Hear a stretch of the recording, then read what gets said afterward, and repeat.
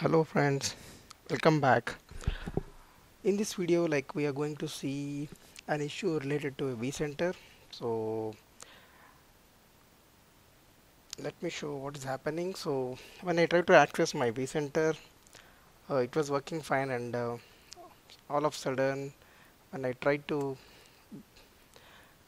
browse my vCenter I'm getting this 503 service unavailable error. So for this generally uh, as a part of troubleshooting what we can do is like uh, we need to log into vCenter and uh, we need to check the logs. So uh, like uh, when I try to check the log for vmware.vp-vpx in that folder we have a couple of logs where we have vpxd-6 is the log. Uh, so initially like though the space on the drive is having actually uh, like out of uh, 40 GB it's, it was having uh, 2 GB of space. So that is uh, uh, around 5% but still like the service went down. So I was digging more and found that in the log it says that vCenter service is shut down as the free space for the database is 95% uh, more than 95% so what happens is uh, the database uh, what will do is like it will shut down the shut down the vCenter when it reaches the 95% threshold.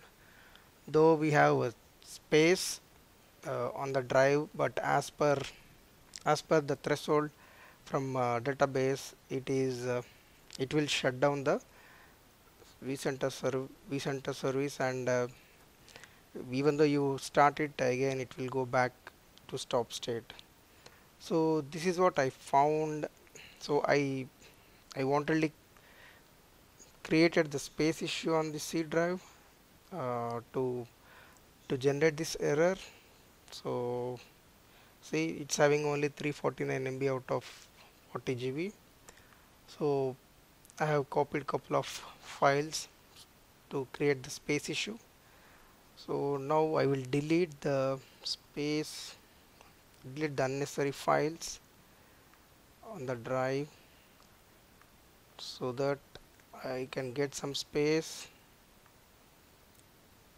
Once I done it I will just restart the vCenter services so that it can come up properly so next step like I can show you like uh, where we where can we see that the threshold is set uh, and uh, we, whether we can change threshold like that that part we will see. Next once uh, vCenter is up. So meanwhile this is a Windows based vCenter but uh, if you go to VCSA uh, for that also if you have a disk space issue then obviously uh, if you check the logs you, you will be able to see that 95% uh, threshold. So for VCSA like we need to run the command on the DB side to set the threshold to increase the threshold from 95 to 99% this is the command we need to run. I just found it on a, on a VMware article. So here's I can share this article with you guys so like here how to like uh, how to interact interacting with the Postgres database they mentioned. We need to connect and we need to run this command so that uh, we can change the threshold.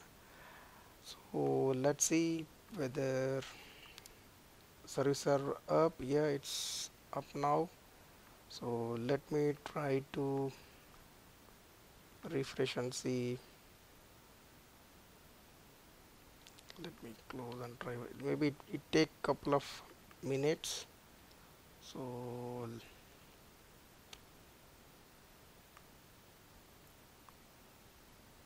still it didn't come up. Uh, just we'll wait for few more minutes and see. Give me one second. Let me pause the video and once it is up I will get back okay I have restarted the services and uh, center service is still coming up. So meanwhile we'll discuss about uh, like what are the thresholds. So I just uh, found this article uh, so this article is about uh, like the error we are faced like insufficient space for database. So if you see here like uh, we have the alarm name and uh, warning is set at 80 percent. So whenever the database size like disk space reaches 80 percent uh, you will get an uh, warning and uh, at 95 percent uh, it will shut down the vCenter. So for this the solution is to clean up unnecessary files and add some space to the drive. If it is a VCSA or a Windows uh, Windows based vCenter we need to add space add space to the drive so that uh, issue got uh, issue gets resolved. Uh, and work uh, work workaround is like uh, set the value uh, like from uh, 95 to uh, 96 or 99 any like percentage so as per the requirement. So here like same thing was mentioned like configuration parameters. So I will share this article along with this video. So let's see if okay it's up now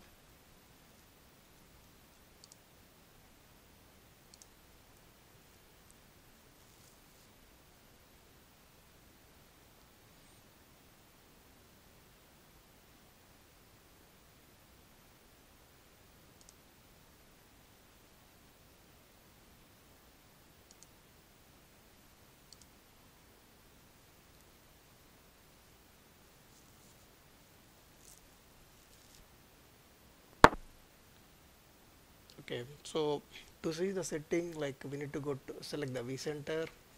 Then once we select the vCenter we will get these all tabs where we need to go to configuration.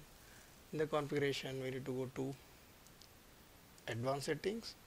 And here we need to search for db so that all parameters related db will be listed. If you go down see here are the two parameters related to like a database like percentage of disk space. So if you see that vpdx.vdb dot vdb dot space error percentage is 95 percent and uh, warning percent is 80 percent. So here if you go uh, click edit and uh, you can modify it. So if it is VCSA like uh, you can can run the command which it was shown here uh, to change the change the threshold from 95 to a higher level of percent uh, like 97 or 99 so uh, I just thought of sharing this because I saw this type of uh, this, this type of issue in production where I'm I was able to see disk space around 20 GB but uh, even though it is showing a 20 GB of disk space when I overall from percentage of aspect it was more it was uh, above 95 percent of total size. So that caused the uh, service service to shut down. So like these are the parameters you need to be check when anytime if you if you see that uh, vCenter service went down or you are unable to connect. So so that's all for this video. Uh, we'll join we'll we'll discuss another topic in next video. Bye bye